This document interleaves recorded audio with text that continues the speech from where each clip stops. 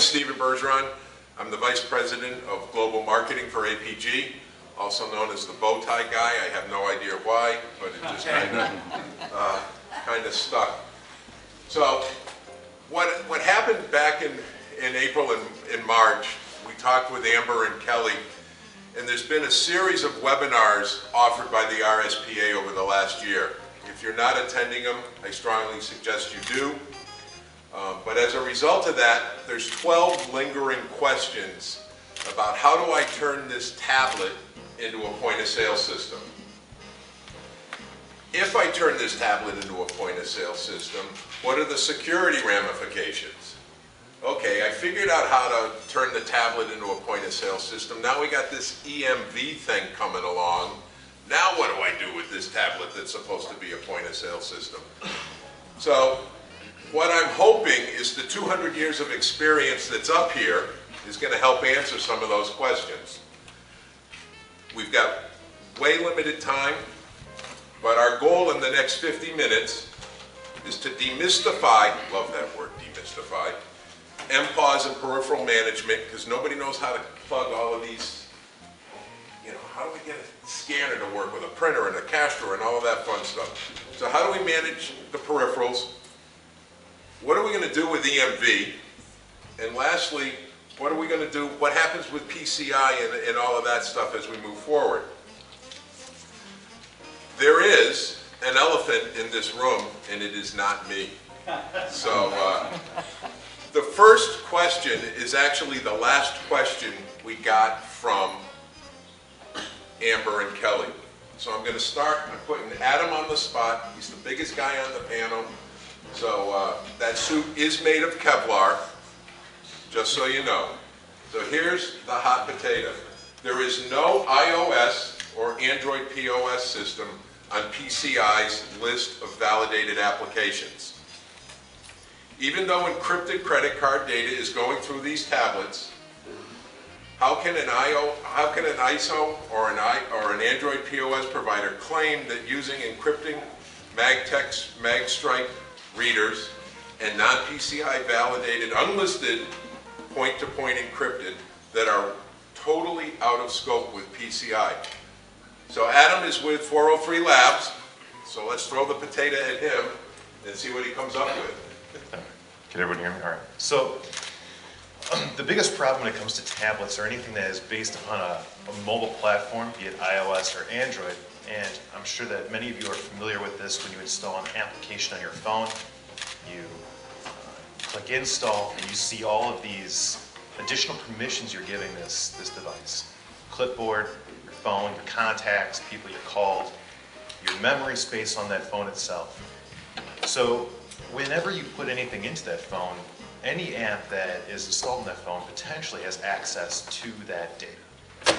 Now, if the device itself is encrypting that data, then there's a moment that before that device has encrypted that data where it's sitting there in clear text. You swipe the card, goes through a headphone jack, and it's on that phone.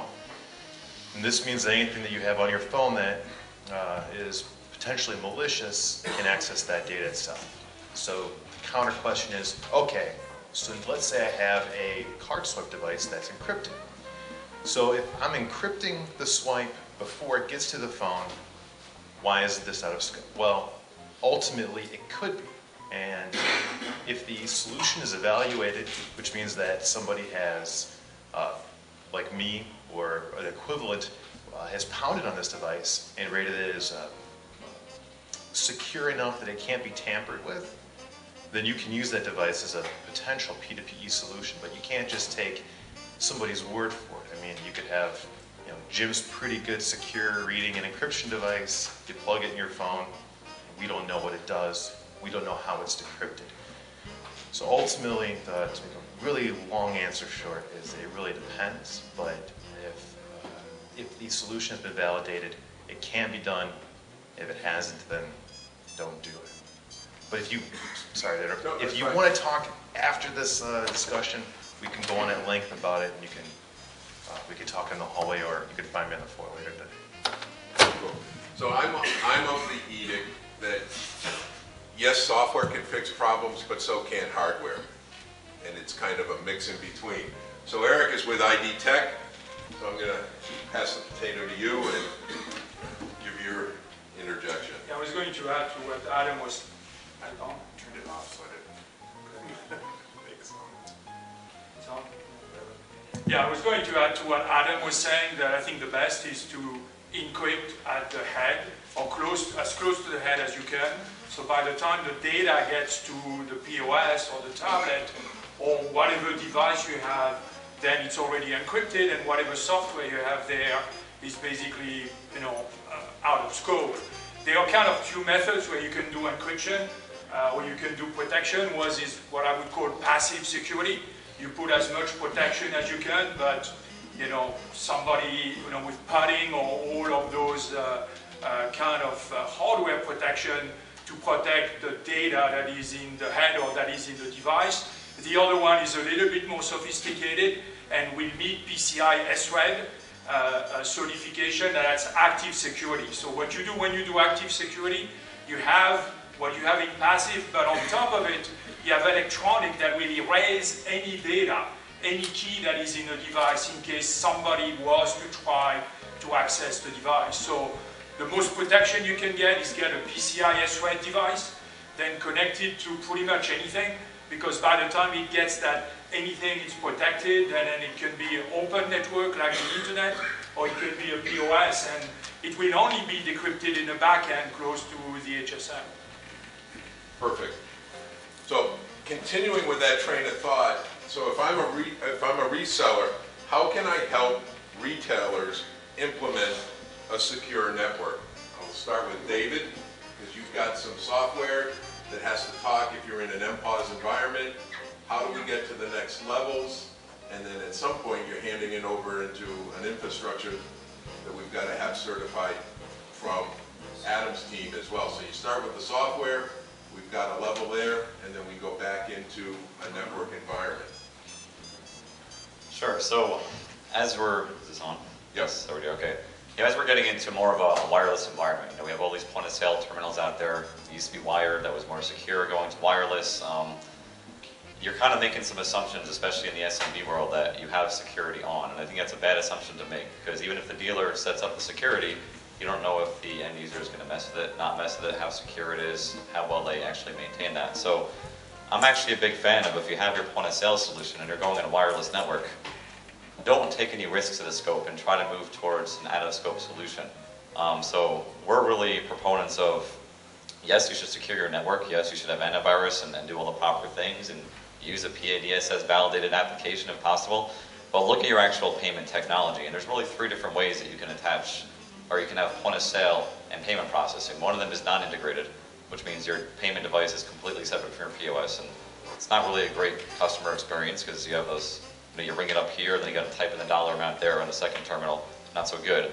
Um, you have the fully integrated, which is what most point of sale people are selling today.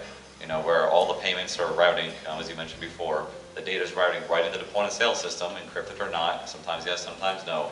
And the point of sale is processing the card.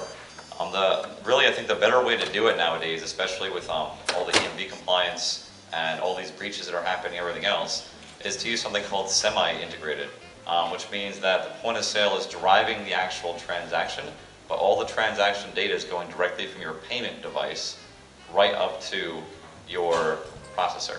Um, that can happen either through hardware, um, it can also be driven by software in the case of you know what DataCap doesn't know. And what that means is that your point of sale software never gets access or visibility to the credit card data, encrypted or not, at all. So if somebody does actually breach your point of sale software, it's like breaking into Fort Knox without the gold. There's nothing there of use, you know, to any data thief. So I think that's really, to me, yes, you want to secure your network, but I would pay more attention to, are you using technology that can actually just avoid any risk whatsoever? Um, that's something that we're actually installing now. We're really excited about it. It's, it's very, customers actually really understand it. I mean, when we explain to them, data never goes into the POS, you know, they get it. It's a pretty simple concept and, and they embrace it. Adam? is as far as a network is concerned, uh, as far as PCI is concerned, anything on that network, a network's a really chatty place. It's, uh, I mean, no one listens to their Ethernet cable, right? But if you were to, to listen to that traffic, every device is constantly talking. And when person A is talking to person B, person C can often pick that up.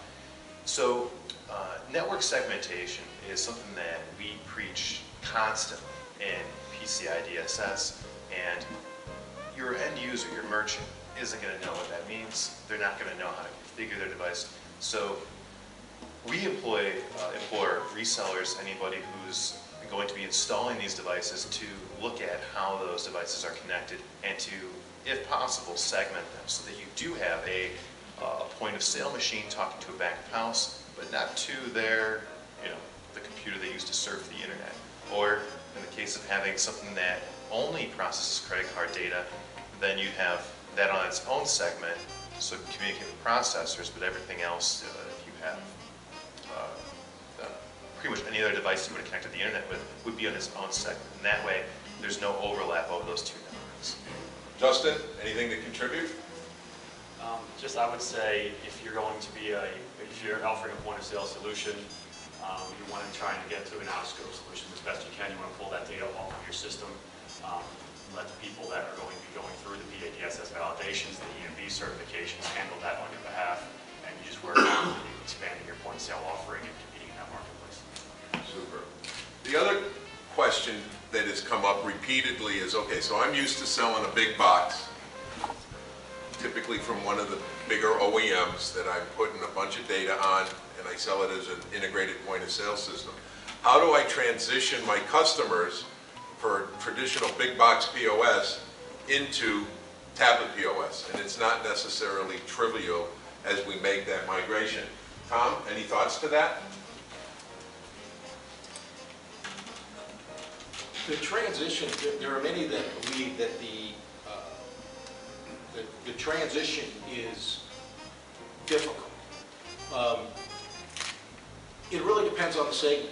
If you look at uh, the SMB uh, market, they're more adaptive to that type of technology, and it really depends upon what the value proposition is for them. I, I, I live in a, uh, a resort town, Park City, Utah, and the city council uh, promotes independent store owners. So if you look at Park City, it's a lot of independent store owners versus large chains, and it's a, it's a great learning lab for the transformation of point of sale. And one of the, one of the key differentiators in who adopts tablet and who stays traditional has everything to do with the total cost of ownership and the value proposition that's provided. We have had uh, merchants that have, that have gone, did the 60-day trial on tablet POS. Uh, We had one go back because it was an old mom and pop coffee shop run by folks who have been running it for decades. And when they transfer that business over to their grandchildren, that's when you're going to see that transformation, because they're already used to that technology. The overwhelming majority of folks that have looked at the value proposition of, of automating their enterprise have gone to tablet and stayed. Uh, We have had uh, restaurants that have had uh, ownership changes that have been pillars in, in the Park City community, uh, move to tablet, and move to pay at the table, uh, and, and wondering why they haven't done that uh, years ago. Uh, Mobile POS provided them the opportunity and the value proposition to automate their business. Uh, And that's the key. It- For retailers, retail, for big box retailers, what we have found uh, at Epson is that they're looking at how to make that work. They're, they're, many of them are using it as an addition to their uh, traditional POS, like uh, uh, pop-up POS. If, you know, uh, there's a, a- a TV program or sale running over in, in audiovisual, that they can bring a pop-up stand that is tablet, fully wired, but mobile based upon a cart. So they're looking at, at how they can use mobile to, to augment uh, what they currently. But SMBs, they're the ones moving toward it because the value proposition and the total cost of ownership is right in that sweet spot. Thanks. Paul, I know you've been involved in some, you know, both large and small conversations on this migration. What are, what are your thoughts? Yeah, I have two thoughts. Um, we have, a, uh, uh, I've talked to customers at all levels of the, of the uh, size and scope and scale in retail. Probably the biggest customer that I've talked to in this was about four years ago, and, and they said something that still resonates with me today, and it's kind of informed a lot of the directions that we've taken, and it's not really a, a secret or anything, but what he said to me in a, in a conversation about a Capture application was, you know, what I really care about with respect to the hardware at the front end is really what the consumer brings into the store with them. And what the consumer brings into the store with them is their credit card and cash.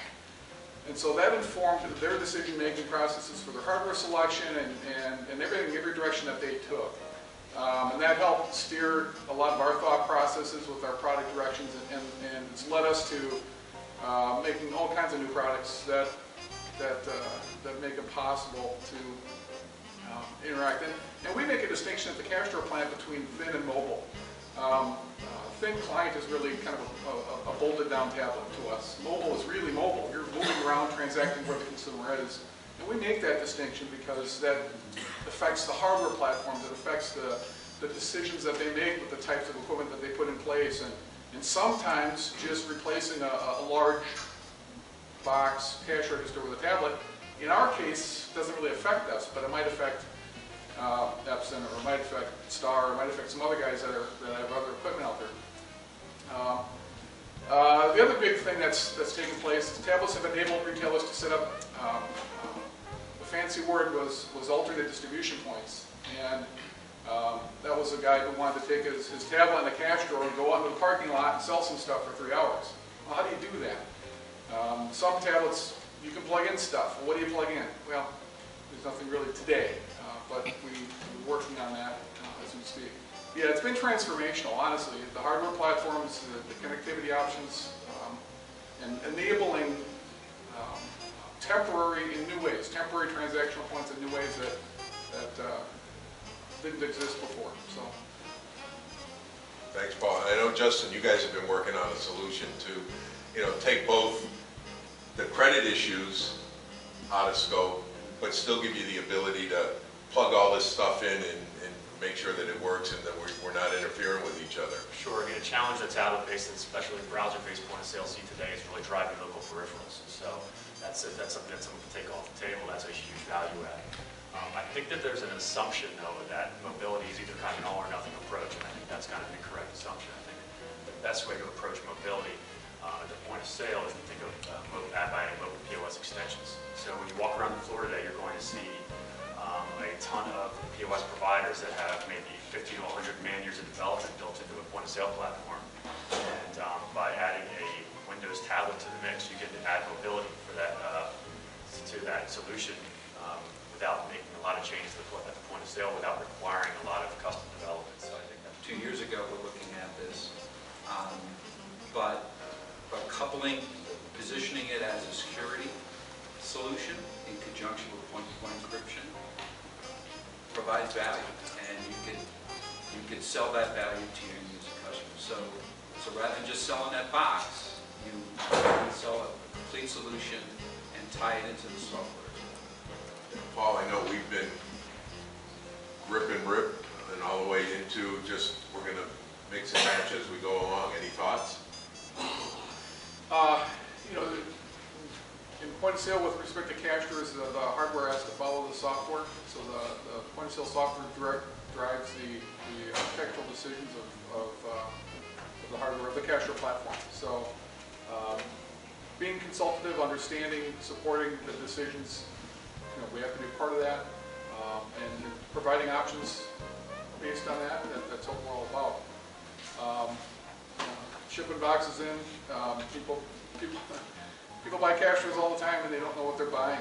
And they plug them in and, and they don't work because somebody didn't tell them what they bought and, and they didn't have that partner there. So, um, those, those calls happen frequently. And, uh, we're here to help and, and, and ISV or Navarre, who can help, can be that partner even at the cash flow level, not just the chip and the pin and and the swipe and all that, but, but, uh, you know, getting to know the customer, what their expectations are.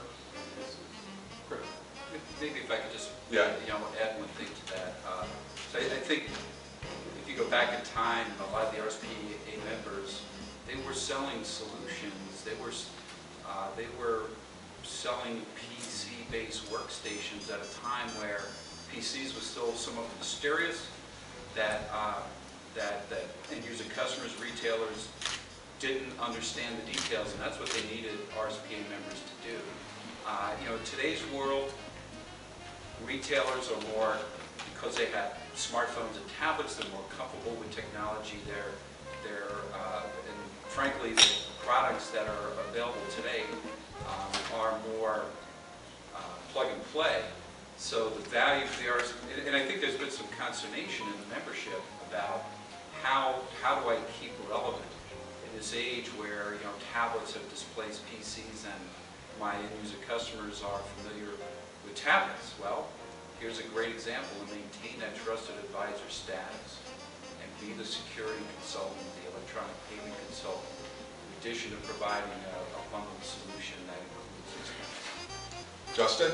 any Just to piggyback on that point, um, I mean, in an age today where a lot of new uh, point-of-sale entrants are selling direct through websites, whether it's browser-based or tablet-based point-of-sale, um, it's really important for VARs to take on the technological consultancy role and really understand the needs of their, of each specific merchant and be able to, uh, you know, rapidly react with mobility or an EV solution or what have you, really be able to provide a solution that's going to fit that customer's needs. Who doesn't necessarily have the ability to understand what technology works best for them, what's available in the marketplace, and what what's important.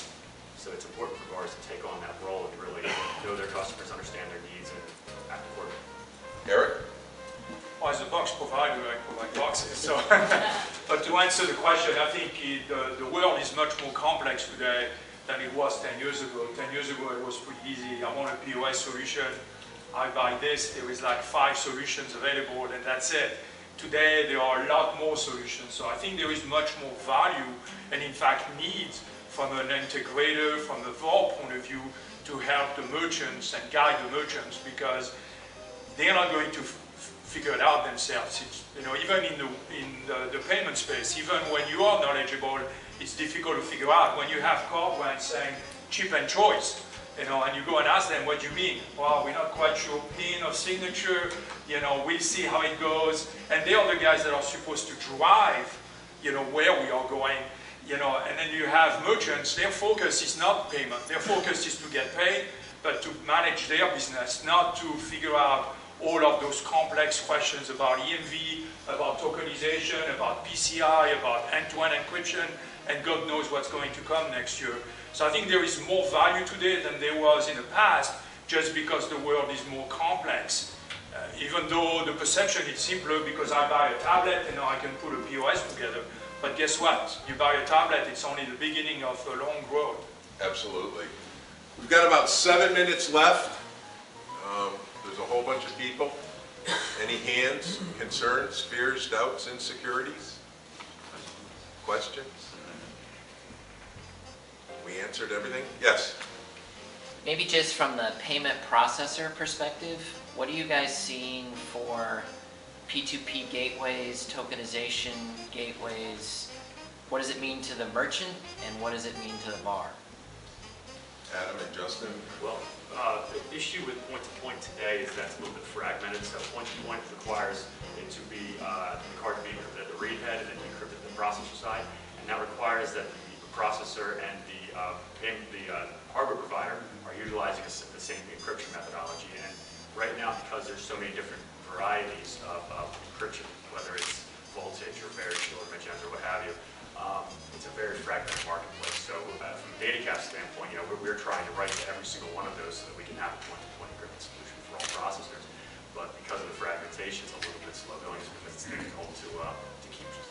So once that consolidates a little bit in the next couple of years, it'll be a more ubiquitous kind of solution. Adam? The uh, the PCI SSC maintains a list of P2P validated solutions. This is where an assessor such as myself or another would review the entire chain, how the data is encrypted, how those keys are injected onto the device, how they're decrypted. And uh, implementing that device takes a lot of, takes a lot of a network for a merchant of scope, and then the reseller would need to just, would need to observe um, how that device is implemented into a merchant environment. Tokenization, we haven't really talked a lot about that uh, here, um, is an exchange of data so that a recurring transaction can be made um, without actually having sensitive data stored. Um, If I wanted to have a recurring payment with customer, I can send this card data to a processor, they give me back a token, and then I hold on to that token. Now, if that token gets stolen, you can't, I mean, assuming it's a low value token, it's a full discussion, uh, not everyone can use this token.